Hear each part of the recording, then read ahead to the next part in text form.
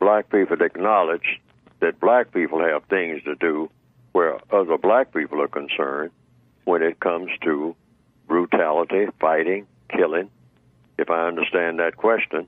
Yes. And the answer is yes. And that's all through the book that I've written. Uh, you know, I talk about that. Uh, one of the ten stops stop robbing, stop stealing, even from people who have stolen from you. Stop killing. All of that. Those are one of the ten, uh, three of the ten stops right there. I think I mean, Mr. these Fuller, are I mean, absolutes. These are basic ten stops. I mean, and, and there's ten of them, and uh, and those are three of them right there. Stop fighting. Stop killing. Stop stealing. yes, And sir. then Uh, also stop robbing. I mean, these these are all things. I mean, we're talking about what white people do to us.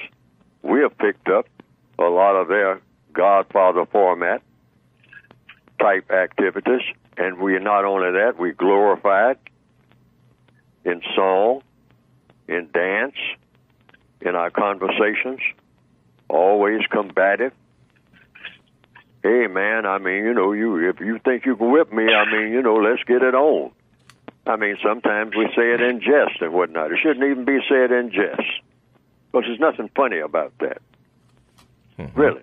I mean, we need to just get away from all of that combativeness and, and start always trying to say something that's going to be uplifting and constructive.